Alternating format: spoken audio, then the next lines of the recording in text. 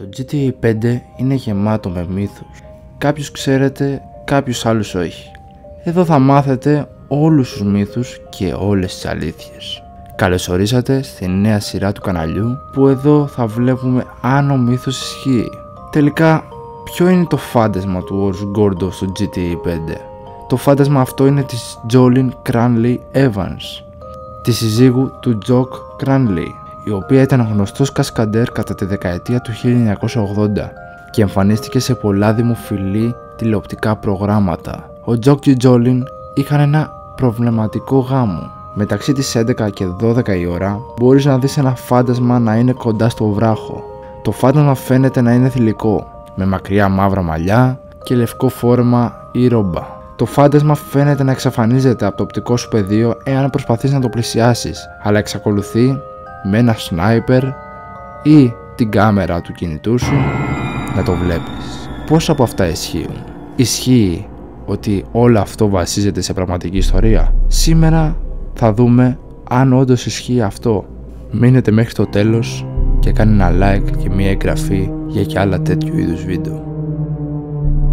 Οπότε βλέπετε μάγκες έχω φτάσει στο σημείο το οποίο είναι το φάντασμα το οποίο λένε ότι υπάρχει ένα φάντασμα εδώ πέρα. Το φάντασμα λένε ότι υπάρχει εκεί κάτω και εμφανίζεται όπως σας είπα και πριν εμφανίζεται από τις 11 μέχρι τις 12.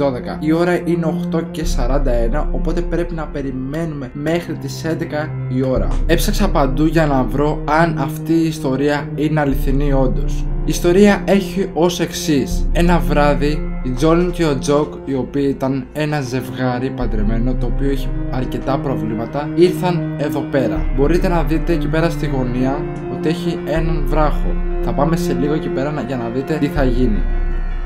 Καθίσαν εδώ πέρα ο Τζοκ με την Τζόλιν και συζητάγανε. Και σε μια στιγμή η Τζόλιν έπεσε από κάτω. Γιατί, γιατί την έσπρωξε ο Τζοκ. Από τότε μάγκες κατά τις 11 με 12 η ώρα, από τις 11 μέχρι τις 12 η ώρα το βράδυ εμφανίζεται το φάντασμα της Τζόλιν εκεί και από κάτω έχει αίματα. Η ώρα είναι 10 και μισή και περιμένουμε μέχρι τις 11 η ώρα για να δούμε αν όντως αυτός ο μύθος ισχύει. Κάνε ένα like και ένα subscribe για να μην χάνεις άλλα τέτοια είδη βίντεο και αν μας αρέσει γράφτο στα comments. Νομίζω φτάνει η στιγμή 10 και 44. Έχει ακόμα πολύ όμως μέρα, δεν έχει βραδιάσει εντελώς.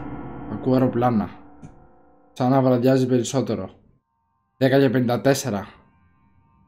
Λοιπόν, ήρθε η ώρα της αλήθειας. Είναι όντως το φάντασμα της Τζόλιν εκεί. Και 58. Το φάντασμα της Τζόλιν υπάρχει.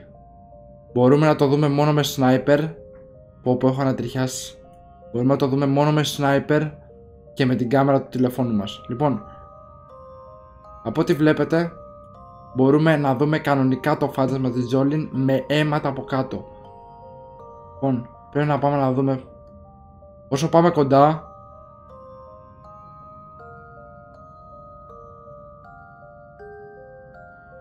μπορούμε να δούμε ότι γράφει τζοκ από κάτω. Με αίματα. Ας ανοίξουμε και το τηλέφωνο μας, να το τσεκάρουμε και με το τηλέφωνο, με την κάμερα του τηλεφώνου. Μπορείτε εδώ να δείτε μάγκες, τη βγάλουμε και μια φωτογραφία, ότι υπάρχει όντως το φάντασμα. Υπάρχει όντως το φάντασμα, οπότε ο μύθος ισχύει. Άμα πάω από πάνω της, μπορούμε να δούμε ότι δεν γίνεται τίποτα, δεν ακούμε ήχους, μπορούμε να πυροβολήσουμε κανονικά. Άμα κοιτάξουμε πίσω όμως, εξαφανίζεται. Το φάντασμα θα εξαφανιστεί σε 8 λεπτά. Θέλω να το δω. Αυτό είναι το φάντασμα Τζόλιν. Θα εξαφανιστεί όντως; Το φάντασμα εξαφανίστηκε. Ο μύθος ισχύει.